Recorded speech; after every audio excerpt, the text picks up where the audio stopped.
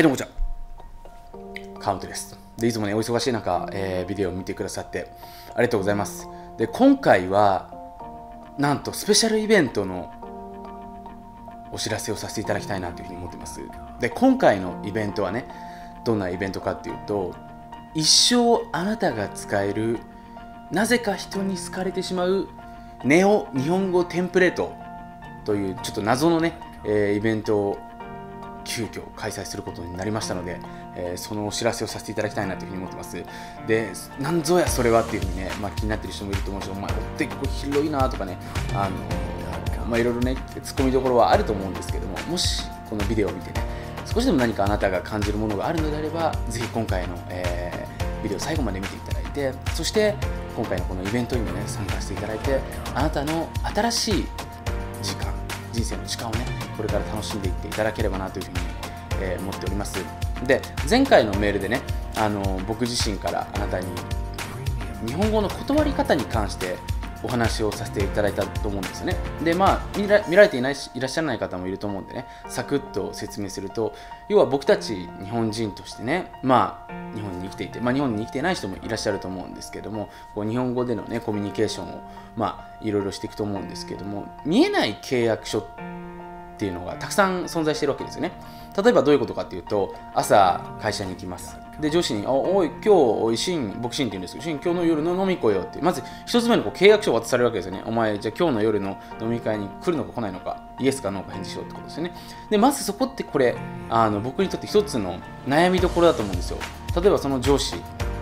なかなか尊敬していると。でちょっといい人。でも僕のスケジュール的には今日の夜は自分でそのあのミスター M さんの、ね、ポケットビジネススクールのちょっと今日はあのなんていうかな勉強するって決めてたからどうしようっていうふうにこう悩みますよね。そうするとこう契約書が飛んできて考えるわけですよ。どっちにしようかなみたいなね。でまあ女子も好きだけどもでも断りづらいなと思いつつでそういう時間が例えば朝こう会社に入ってあの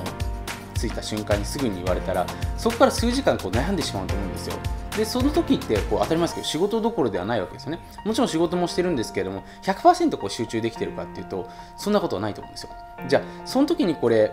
あの僕たちにとってね何がこれ重要なのかというと自分のその断り方っていうものあこれ僕もそうなんですけど日本人ってねこう断る人にこうノーっていうことっていうのはやっぱりどうしても恐れてしまう生き物だと思うんですよね。でまあそういうね、まあ、いい断り方というか、その、いいですっていうふうに言えればいいと思うんですけど、なかなか言えないですよね。まあ、そういう本とかね、そういうあのことを言った方がいいですよっていうふうにあの提案する人って多いと思うんで、なかなかやっぱり難しいっていうのは、僕たち日本人だと思うんですよね。それはやっぱり相手のことを思いやれる、あの、まあ、民族というかねそういう遺伝子を持ってるからこそこうこういうこと言ったらこの人に何て言うかな傷つくんじゃないかなとかねそのやっぱそういうことを気にしてしまうわけですよね。でそれってものすごくいいことだと思うんですよ。だからこそ断り方とかその断り方においてもノーと言わないでものすごく表現を選んだりして迷ってしまうと思うんですよ。でもこれよくよく考えるとね今の時代ってものすごく、まあ、インターネットの影響でねお誘いとか契約書っていうものが増えてきたと思うんですよね。サインする量が。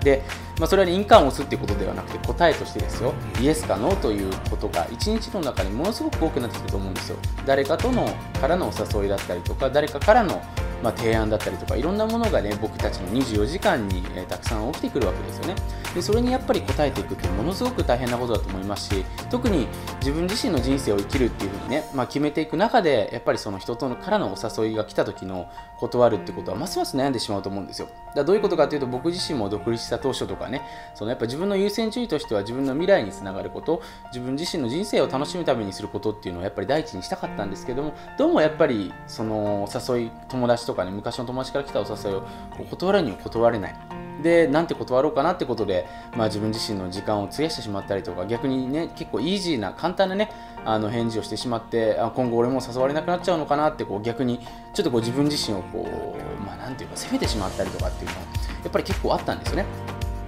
で、やっぱりその経験から僕自身、あのまあ、分かったことというか、結構感じたことというのは、やっぱりその、断り方にも実はポイントがあって、なるべく人に好かれるような断り方をしていった方が実はどんどんお誘いも来るしそれによって相手からの信頼もかなり得られるんだなってことに気づいたんですよね。で僕自身、まあ、そこからこの、まあ、今回話していくようなこのネオ日本語テンプレートっていうのを、まあ、僕自身研究し始めてね、まあ、僕自身海外にあの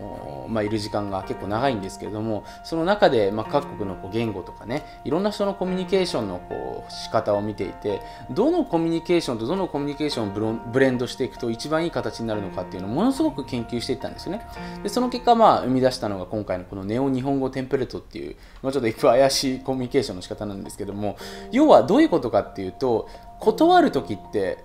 これポイントというか僕もねこれすごく勉強になったことなんですけどもなんていうかなこう相手に来た球をそのまま返さなければいけないんじゃないかっていう思い込みがありますよね。例えば相手も一生懸命誘ってくれた。じゃあそれに合わせて自分も丁寧に返さないといけないんじゃないかって思うとどうしてもやっぱり断り方にも力が入ってしまうと思うんですよ。でも力が抜けて逆に返答されると向こうっていうのも何が起きるかっていうとその何て言うかなその断るっていう行為を逆に嫌に思わないでこいつ面白いなっていうふうに思ってまた誘ってやろうかなっていうふうに思うんですね。でこれって例えばねいろいろな居酒例えば居酒屋さんとかで僕とあの妻とたまに居酒屋にこう語りに行くんですけどももう一杯いかがですか？とかねお兄さん今日これおすすめですよってこう、まあ、お腹いっぱいの時に来るわけですよね。そうするとこう何て言うんですかねあのー、まあその時にこういいですっていうふうに言うとねまあちょっとお腹いっぱいですよっていうふうに言うのもいいと思うんですけどそこでちょっとこうねあのー、そこも一つの断り方ですねいい断り方ができたらその店員さんが僕のことを覚えてくれてまた次の時にこう何て言うんですかね僕が遊びに行った時にあのー、いい料理を出してくれたりとかサービスをしてくれてるわけしてくれるわけですよね。で例えば、まあ、いろんなねその回答ってあると思うんですけども今日僕のお腹くんがねちょっとあのもう今までのオナさんのもうオナさんの顔見てかなりも満たされちゃったの。オナさんが行き過ぎてるから。また次回届いてくれって言うんですけどそれできますっていう感じで言うと仕方ねえな分かったよって感じでこうねこう次に持ってきてくれたりとか。結構そういうのっていうのは起きてくるわけですね。だから一つのこう断るっていう部分も、まあ、今少しちょっとね答えのヒントみたいなのがあったと思うんですけどもちょっとこう真面目な路線から一歩外していただいてそれをさらに次やるよっていう風に提案をつなげていくことによってさらに相手に傷つけずに丁寧に断ることができるんですよね。多くの人っていうのがまあ僕もそうだったんですけど自分の都合を言って断りますよね。今日、まあ、都合を言わない場合もあると思うんですけど今日ちょっと結婚式があるんでとかね。でその都合が嘘だったりすることもありますよね。僕も昔よく使ってたんですけどなんかこう誘われた時にすみません今日ちょっとあのペットのなんか面倒がとか適当な嘘をついてたんですけどもなんかそれ自分的にも傷つきますよね。あ俺嘘ついたなみたいな。嘘ってやっぱりこう自分のハート的に良くないと思うんで。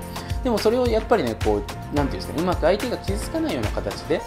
かつ一歩こうずらしていただいてさらにそれを未来に飛ばしていく。いやでもまた実はねこう来年から僕スケジュール結構暇で暇でもうしょうがないんでもう毎日何々さんのこと会おうかなって思ってるんでちょっとあの来年誘ってもらいますって多分いけると思うんですよみたいな感じで20%の確率ってって。多分じゃねえじゃんっていう、まあ、感じで返ってくるわけですけどね、まあ、そういう感じでこうちょっとですねあの未来を付け加えして返していただけると実は結構またお誘いが来たりとか自分もそれによって相手がこういい顔を見れますよねそこから面白いレスポンスがもらえたりすると逆にその後すっきりして、えー、次のことに進めるっていうのがあるわけですよね。で結構そうして自分の人生の時間っていうのは増えていくと思いますしその時間こそがやっぱり自分らしく生きれる時間だと思うんですよ。で結構一日の中分解してみると人のことを気にしてしまったりとか結構こう見えない契約書のレスポンスの仕方反応の仕方によってなかなか僕たちってこう前に進めなかったりとか自分の人生の時間を歩めなかったりする人って多いと思うんですよね、まあ、昔の自分がまさにそうだったんですけども、まあ、なので今回は、まあ、そういうねあのー、まあ、日本語におけるこうコミュニケーション、まあ、その日本語ならではのコミュニケーションというものを生かした特性っていうのを知ってね。でそれを日常生活にどんどんどんどんあなたが使っていくことによってコミュニケーションのどんどん円滑になっていく。でどんどんどんどんやっぱそれとともにあなた自身も自由になっていくし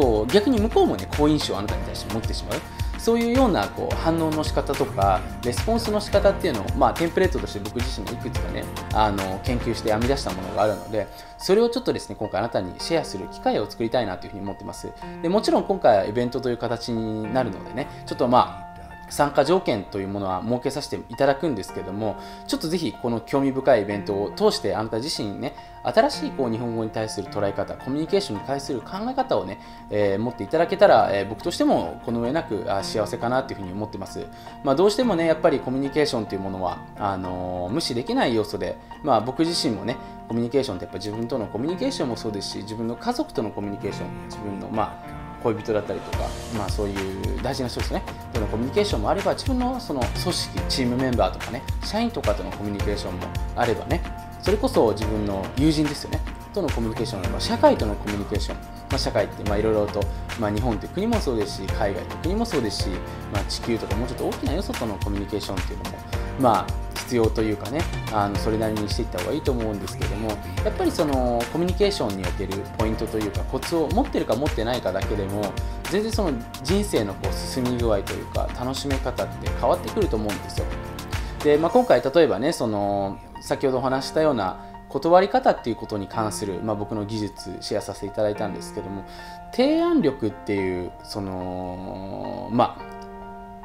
コミュニケーションも実は僕自身これからの時代ものすごく大事かなっていうふうに思うんですよね。でまあどういうことかっていうと答えが僕たちはねもともとあるものから選ぶっていうのが結構日本人のねその思考回路として、まあ、特徴としてあるんですけども例えばどういうことかというと学校のテストとかでねこの答えはどれでしょう？A か B か C かでこの中から選びなさいっていうふうにまあ分かりやすく言うとその ABCD から選べってことですよね分かりやすく言うとこれまあ僕もよくやるんですけどもこの前もねあの僕の妻とあのまあカフェに行ってで僕オッパーアイスっていうそのアイスアイスが大好きなんですよね。で、そこの、なんていうかね、こう僕の妻がこうフロあのスムージーみたいなのを頼んで、そこの上にこうアイスクリームが乗ってるっていう話をしたんですね。で、まあ、それを僕はこう、あのまあ、その中から選ぶっていう選択肢もあったと思うんですけども、多分おっぱいアイスもいけるだろうと思って、他のおっぱいアイスが売ってたからね、それでこれおっぱいアイスにできたりするんですかね？みたいな感じで聞いてみたら、そのオーナーさんがね、まあ、これつい最近の話なんですけども、あ、いいですよっつって、なかなか面白いですね、それもみたいな感じでこう言ってね、まあ、差し出してくれるわけですよね。でそれもどういうことかというともともとメニューにある ABC っていう中から選ぶっていうよりも自分から新しくその D とか G とかっていう選択肢を作り出して提案することによってそれを自分がゲットできるっていうのも実はこれコミュニケーションにおける僕は大事な部分だと思うんですよ。なんかこうどうしても僕たちってね今目の前にあるものから選ばなければいけないんじゃないかっていうふうにあの思ってしまうことって多いと思うんですけど実は新しく選択肢っていうのを作ってそれを相手が喜ぶような形でポンと相手に提案することによってそれがものすごくいい空気感とか相手と自分におけるコミュニケーションにおけるこう最高の時間を作ってくれたりする部分でもあるんですよね。でそういった部分を僕自身こうすごく大事というかね、まあ、これからの時代本当に、まあ、ぜひこれ聞いてくれてる人にもねシェアあの覚えておいていただきたいなというふうに、えーまあ、思っている次第です。まあ、というわけですね今回、まあ、人に好かれる一生、ね、使える、まあ、日本語コミュニケーションテンプレートということでねえーまあ、そういったイベントを、えー、やらさせてもらうんですけども、まあ、8月25日から8月 ,27 8月25日の、えー、朝7時から8月の27日ですの27日の、まあ、夜まで、えー、今回このイベントの、まあ、参加期間というかねあの募集期間として、えー、募集をさせていただくので、えー、ぜひですねこの期間にあのまたメールはねさせていただくと思うんで、えーまあ、このイベント参加していただいて少しでもねちょっとこの2017年の8月ですよね、まあ、この秋からいろいろとねこうまあ、秋っていろいろ回収していく時期ではあると思うんですけども、まあ、これを使って少しずつまた回収するもの今まで作ってきたものから回収していくっていうものを、えー、行っていただけたらあなたの人生もっともっとね、えー、楽になると思いますしハッピーになると思いますし何よりも自分の時間がね、えー、増えていくと思思いますし人との関係においてハッピーなことがどんどんどんどん、え起きてくると思うんでねあの楽しみにまあ、していただければなというふうに、えー、思っております。僕自身もね今最近本当にすごく思うのが日本人って本当に素晴らしい、まあ、民族だなというふうに思っていてで、まあ、人によっての幸せってそれぞれ違うと思うんですけども僕はやっぱ日本人に限っては日本の日本人にとっての幸せってやっぱりコミュニケーションから来る部分が大きいと思うんですよね。で僕自身が、まあ、いつも思うのがね自分とのコミュニケーション。そして自分の家族とのコミュニケーション。そして自分の友達友人とのコミュニケーション。そして社会とのコミュニケーション。この4つによって僕はすごく幸せな状態。要は幸本当僕の一回考える幸せってどういう幸せかっていうと24時間の中でね自分が幸せだなって感じて感じることもできますよね。なんかコーヒー飲めて幸せだなとかね。その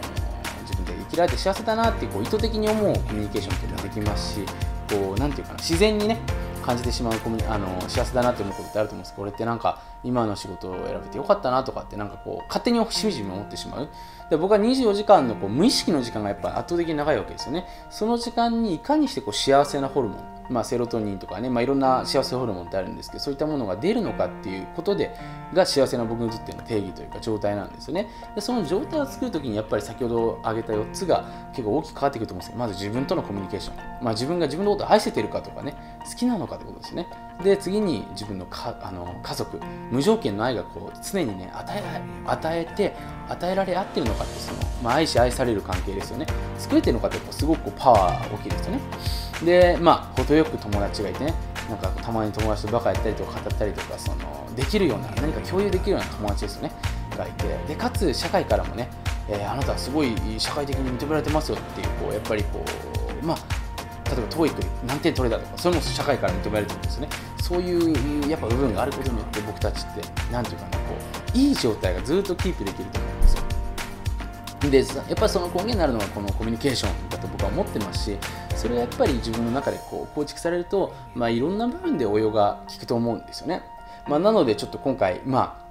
なかなかそういうのを考える機会とかね、まあ、日本の学校で教えてもらうことがないと思うんで、まあ、今回このイベントを通して少しでもね一緒に、あの新しい時間をこれからね過ごせたら、えー、いいのかなというふうに思って今回企画させていただきます、まあ、なのでちょっとですねまた、えー、8月の25日ですね、えー、にメールをさせていただくので、えー、ぜひですね、えー、楽しみにしていただければなというふうに思っております。で、まあ、まだね、そのメール知らないんですけどっていう人は、まあ、僕の方に、えーまあ、メールアドレスね、この下にあると思うんで、メールの方をもらうか、えー、この下にね、登録するところがあると思うんで、そちらの方から登録いただければ、えー、必ずね、ご案内しますので、えー、ぜひですね、楽しみにしていただければなというふうに思っております。まあ、そんなわけで、えー、今回は、えー新しいイベントに関するお知らせをさせていただきました。ではではまた、えー、8月の25日、えー、朝7時にお会いしましょう。それでは楽しみにしています。